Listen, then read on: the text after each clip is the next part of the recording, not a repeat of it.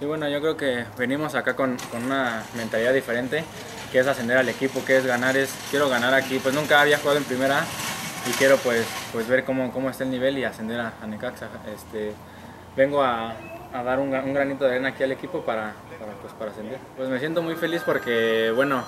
vengo de América, venía pues jugando en, en primera división, venía jugando poco y bueno, espero tener acá más minutos y, y sí, sí es un reto para mí para, para ver qué, qué tal está el nivel en primera. No, no pienso eso porque,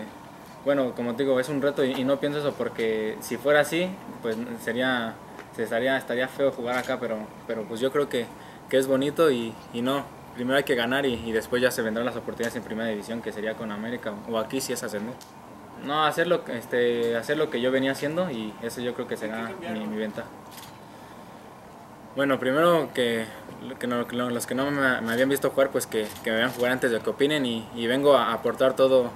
todo mi esfuerzo y todo, toda mi actitud para, para salir adelante. Eso les ofrezco.